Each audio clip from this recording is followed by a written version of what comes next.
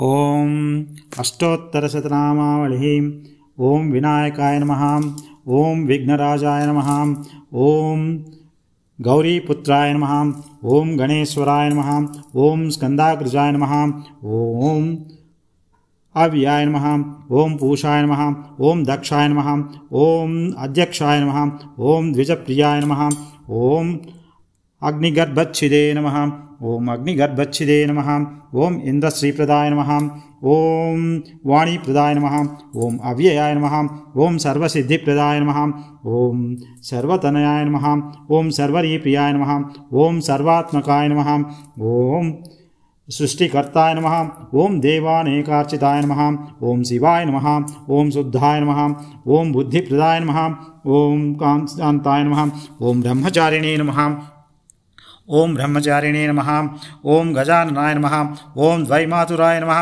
ॐ मुनिस्तुत्याय नमः ॐ भक्तविघ्नविनाशाय नमः ॐ एकदन्ताय नमः ॐ चतुर्बाहवे नमः ॐ चतुराय नमः ॐ चतुर्बाहवे नमः ॐ चतुराय नमः ॐ शक्तिसंयुताय नमः ॐ लम्बोदराय नमः ॐ शूर्पकर्णाय नमः ॐ हरिब्रह्मविदे नमः ॐ उत्तमाय नमः ॐ कालाय नमः ॐ गृह गृहपतये नमः ॐ कामिने नमः ॐ सोमसूर्याग्निलोचनाय नमः ॐ पाशाङ्कुशधराय नमः ॐ चण्डाय नमः ॐ गुणातीताय नमः ॐ निरञ्जनाय नमः ॐ अकल्मषाय नमः ॐ स्वयंसिद्धाय नमः ॐ सिद्धार्चितपदाम्बुजाय नमः ॐ बीजापुरफलशक्ताय नमः ॐ वरदाय नमः ॐ शाश्वताय नमः ॐ कृतिने नमः ॐ द्विजप्रियाय नमः ॐ वीतभयाय नमः ॐ गदिने नमः ॐ चक्रिणे नमः ॐ इक्षुचापधृते नमः ॐ श्रीदायिने नमः ॐ अजाय नमः ॐ उदल् उत्पलकराय नमः ॐ श्रीपतये नमः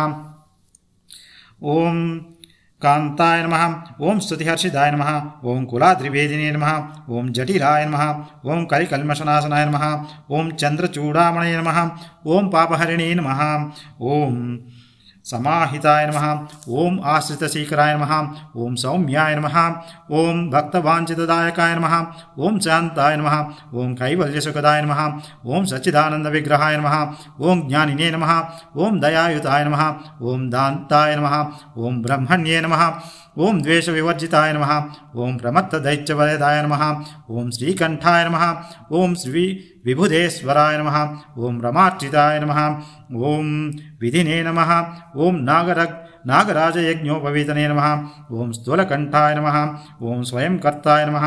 ॐ सामघोषप्रियाय नमः ॐ पराय नमः ॐ स्थूलक्तुण्डाय नमः ॐ अग्रणिने नमः ॐ धीराय नमः ॐ वागीसाय नमः ॐ सिद्धिदायाय नमः ॐ दूर्वाबिल्वप्रियाय नमः ॐ अव्यक्तमूर्तये नमः ॐ अद्भुतमूर्तये नमः ॐ शैलेन्द्र ॐ शैलेन्द्र सुजोत्सङ्गाय नमः ॐ श्रीकेल नोत्सुकमनासाय नमः ॐ स्वलावण्य सुधासारजितमन्मदविग्रहाय नमः ॐ समस्तजगदाधाराय नमः ॐ मायाविने नमः ॐ मूषकवाहनाय नमः ॐ हृष्टाय नमः ॐ तुष्टाय नमः ॐ प्रसन्नात्मने नमः ॐ सर्वसिद्धिप्रदायकाय नमः ॐ इति श्रीविघ्नेश्वरष्टोत्तरशतनामावळी